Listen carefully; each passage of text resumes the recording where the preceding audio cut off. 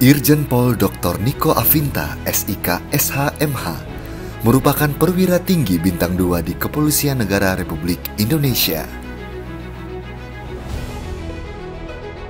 Ia lahir di Surabaya pada tanggal 30 April 1971. Irjen Pol Niko Avinta adalah lulusan Akademi Kepolisian Angkatan 1992.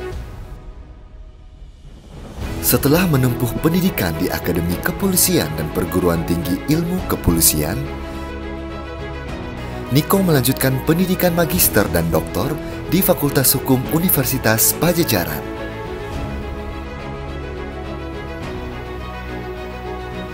Sebagai seorang polisi, ia memiliki pengalaman panjang dalam bidang reserse.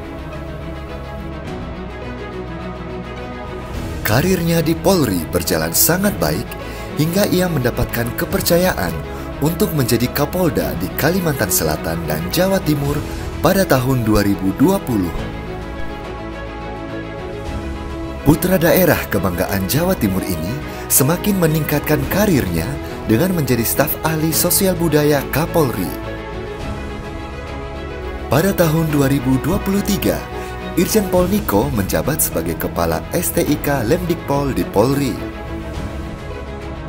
Dan saat ini, Niko diberi kepercayaan untuk menjadi Sekretaris Jenderal Kementerian Hukum dan Hak Asasi Manusia. Selamat datang, Irjen Pol Niko Avinta.